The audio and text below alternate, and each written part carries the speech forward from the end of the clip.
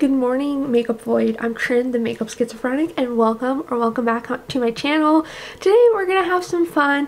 I got this video idea. I saw Rachel Rachel Palmieri do it, where you only like imagine you get rid of your entire collection, and you can only buy 20 products to replace everything. And I've seen lots of videos where it's 5 products, it's 10 products, but 20 products seems pretty manageable. So we're going with 20. Rachel got the idea from Batty Bean. I saw in the comments of Rachel's video that Theresa is dead is going to film this. So I'm just jumping on the trend train. I I'm just gonna do it too. We're gonna have some fun. Give this video a like, subscribe, follow me on Instagram at TrinityMae9391. Let's go ahead and get rolling.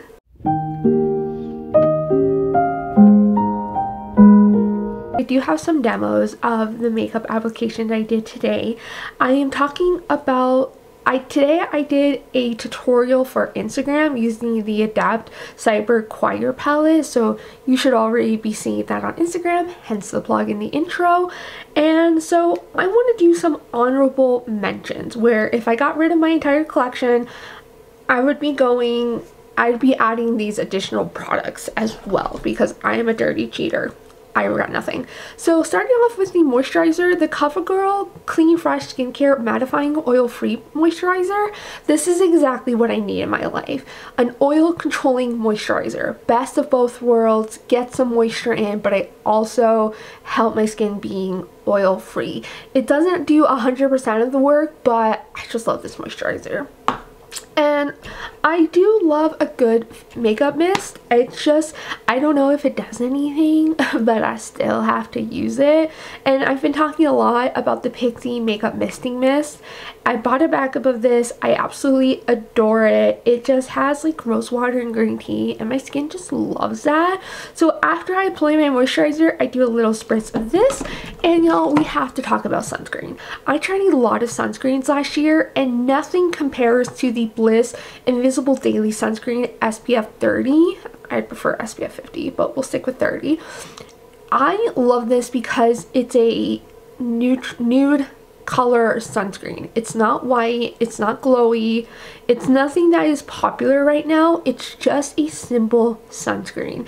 It looks beautiful under foundation, concealer. It also controls my oils because it's a little mattifying but it evens out to more of a natural finish but like at first it's like really mattifying and I love that I didn't mention it before but I live in a dry dry dry dry dry climate yet my skin is still oily I just can't win. I think it was more oily in Nebraska, so it's definitely mellowed out, but even in this dry Colorado climate, my skin is still freaking oily.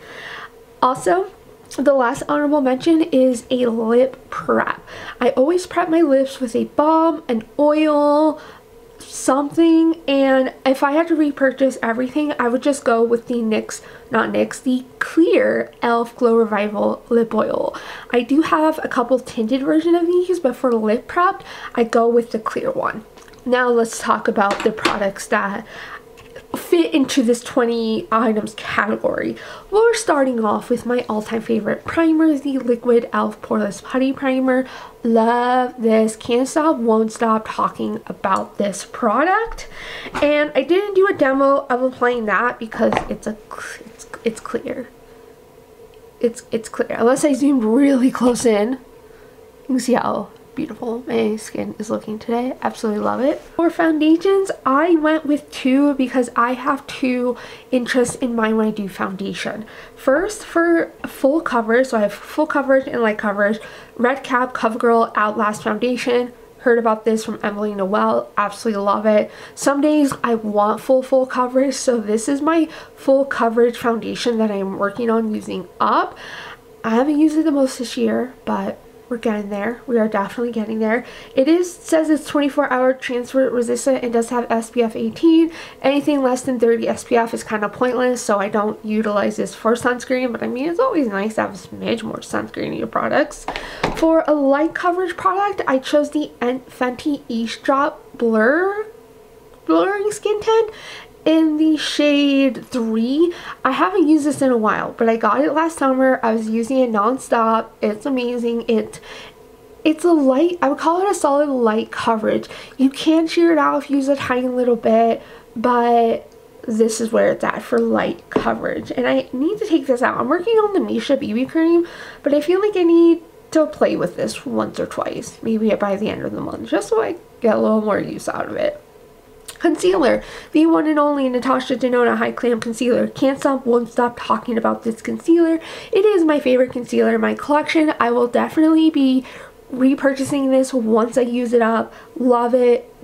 It just, my under eyes, you can't really tell because I did a lot of liner, but my under eyes look great with this. It adds a nice medium coverage to the skin.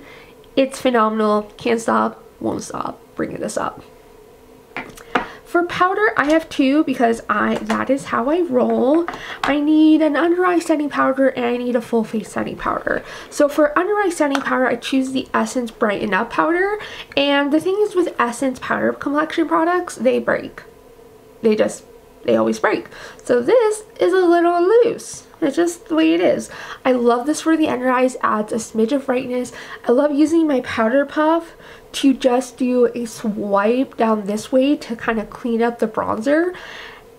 It's phenomenal. It doesn't help my skin stay matte, but I don't really care because, I mean, it's not in the blazing heat of summer yet. So I'm good with just this. It's all I need. But with summer in mind, I chose my all, all face setting powder for the CoverGirl Clean Matte Powder. This is in the shade uh, Classic Ivory and there's not a lot of coverage to this. So you can see it's a little bit light. I can honestly get the get away with this probably as an under eye setting powder but I guess I could I could talk uh, whatever. I made the list. The list is where it's at. I need a good mattifying primer. I have my Catrice True Skin Lip Loose powder but which I love don't get me wrong but if I had to repurchase this I also want to make these easy to get and you can only buy Catrice on the Catrice website or Amazon and some people aren't big on shopping on Amazon and there's nothing wrong with that. So avoid Amazon get this powder you're gonna be looking good all day all day long. Okay so when I made this list I tried to do like two blushes two bronzers and then I realized I didn't have lip products so I had to remove to a bronzer and a blush. So we're talking cream products. The Milani Cream Bronzer uh, in the shade Kit, wait, it's the Cheek, Cheek Kiss Cream Bronzer in the shade 110 Fair Honey. I just really enjoy this bronzer because it's simple, it's easy to work with, it's not glowy, it sets well on the face, it's easy to blend out. It's just really good.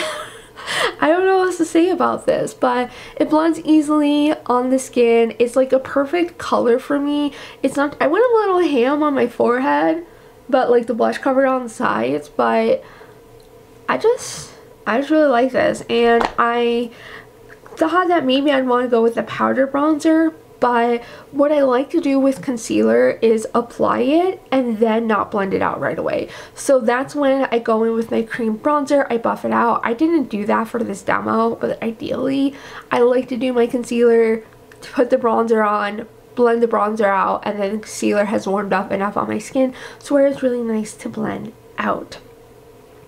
Y'all not surprised about Face Champagne Room. Yeah, it's a perfect blush for me. It just is. And what I really liked about the CoverGirl Clean Matte bronze powder today, even though it's tinted, you still see the blush in full force. So I feel like with this, eh, with this list of products, I can get away with just a cream blush. Y'all, I've been using this since January. We're into March. I had, I, I think this video is going up in April. So we're into April and I'm still using this blush and I'm not sick of it. I'm not. I'm happy, I'm healthy. According to my blood work that they did at the hospital, I am super healthy even though I eat like a five-year-old tangent. It's beautiful blush. I'm to stop talking about it. Eye primer. A lot of people just do concealer as an eye primer. I'm not that person. It doesn't matter what concealer I use on my lids. It always feels heavy, so I go in with a separate eye primer. And this is the Ulta Beauty Matte Eye Primer. First of all, Ulta Beauty products go on sale all the freaking time. Buy one, get one free, buy two, get one free. Things are just on discounted. They better not be discontinued this. I will cry. Uh, what I like about this over the Milani, which the Milani I was obsessed with, is just the Milani is really good, but it's really sheer. And, and I just want, if I had to choose one eye primer, I want one with a smidge of coverage. Especially if I'm playing with a new eyeshadow palette and I notice there's a little bit of staining. I just need, I just need more coverage eye primer. But again, you can go in with concealer. That's not my journey. That's not my vibe. Whew, palettes. This is hard. So I'm not including eyeshadow or eyebrow products because if you've been following me for the past year, my hair changes all the time. So I can't, so sometimes I can get away with the brow pencil. So when I was blondie, I was using the S e.l.f. waterproof brow pencils. These are pretty good, but they're also pretty waxy. So it's kind of like you either love these or you hate these, but they're only $4. So if you're new to makeup, just pick up one of those. I also like the, let me get this out. What, what, I also like the NYX uh, micro brow pencils. These are a lot stiffer, but they still do hold up really well in the brows. So I use this a couple times. But I feel like for, for even though my hair is blue and I should go in with a darker pencil, it was a little too dark for me. So I ended up picking up the Colourpop brow pencil in the shade Soft Black. This looks really good in my brows, but still I'm using, my hair is blue. I gotta use a blue eyeshadow. And so I, I'm not, I'm not counting brows because I would just need, I'd be fucked. if I had to start my makeup collection over from scratch, I would go into one of those brow pencils, but I didn't count brows in here because I would I would look for a blue eyeshadow, like a dark navy blue eyeshadow so I could have in my brows. So I didn't include brows. Let's talk about eyes. Fancy Cosmetica Druid palette. I work for 10 hour shifts you see my makeup diaries. I'm wearing green the majority of the time. This is technically an olive green, but there's mushrooms on it, so I can't wear it to work. And so I need a work appropriate eyeshadow palette, and that is the Fancy Cosmetica Druid palette. Full force, amazing. And then to complement that, I chose the About Face eye paint in the shade Smoke Signal. So if I could only have a couple products, I would use this as base, blend it out, and then top it with whatever mood I felt like in this palette. And my favorite shade in here is called Balance, so I could do simple, easy, sparkly looks. But this palette overall is phenomenal. I didn't film a tutorial for today's look because this look is on Instagram. I would also choose something, so I don't want to wear green every single day, so we need to have some options. I'd buy No But Stick. I'd buy the pink one, which is Bombshell. Besides doing my favorite easy eye looks are blushy and sparkly. So I have this a blushy look. I would I've never used Champagne Room as like something on my eyes. So I'd go in with Bombshell and then my all-time favorite Super Shock is the shade Ladybird.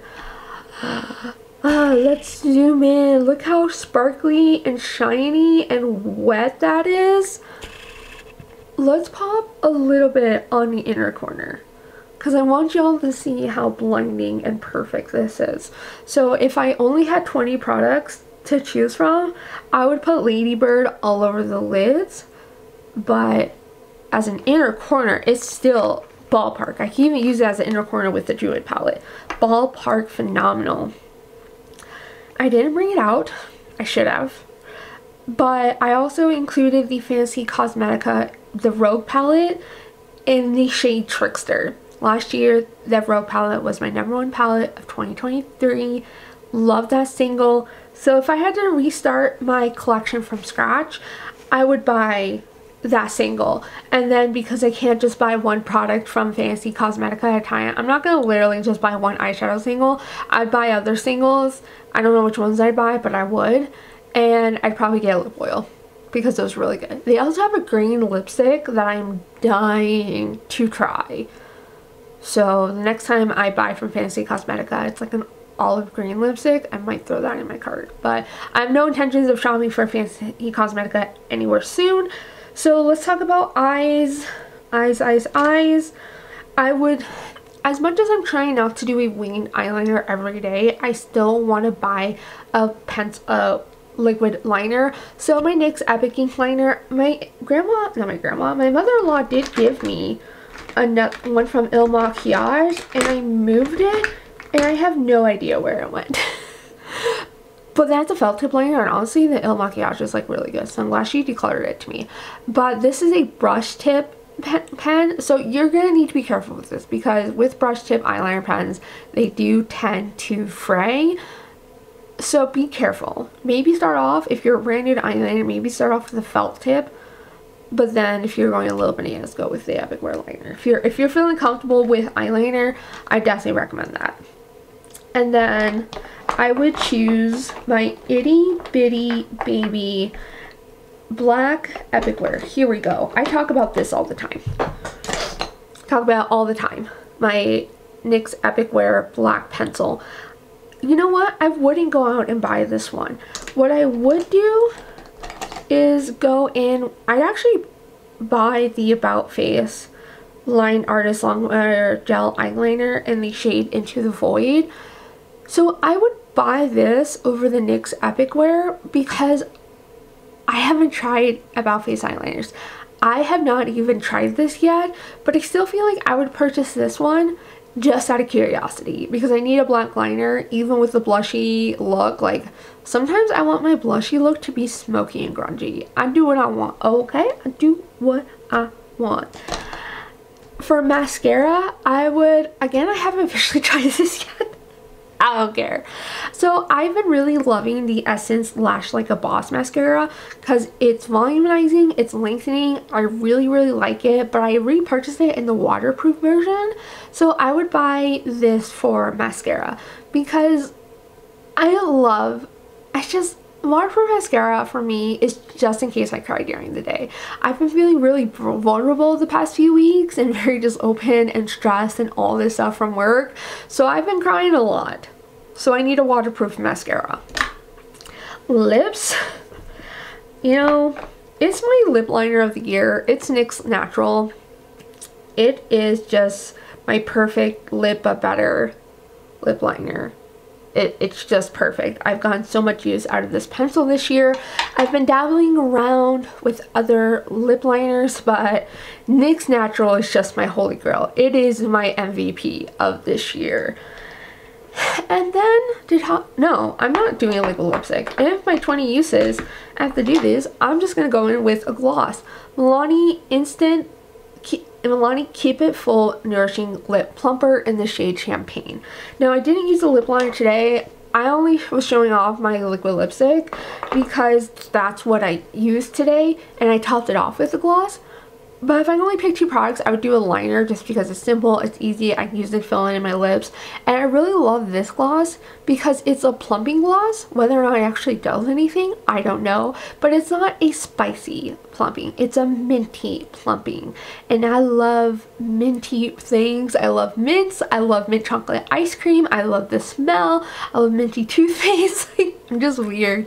I love a good minty. And so, and with the gloss, I don't reapply liquid lipsticks or liquid lipsticks throughout the day.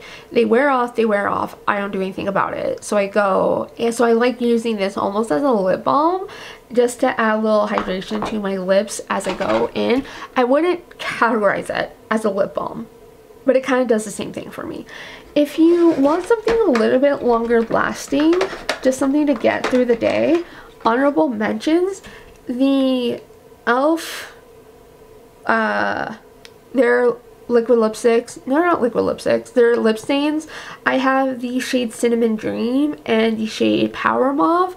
So these are great because they're glossy, so they give you the glossy vibe, but they're also lip stain, so they last a while. I did buy a couple of the new Milani lip stains, but I'm not commenting on those yet because I've only worn one once. And then I bought a second shade, so I need to use those. But that's it for today's video, y'all. Those are the 20-ish products that if I had to restart my makeup collection that I would buy first. And I feel good about my list. I feel really good. I I fibbed a lot, whatever. I do what I want. This is my channel. I'm here to be silly. I'm here to have fun. As always, have joy and bye!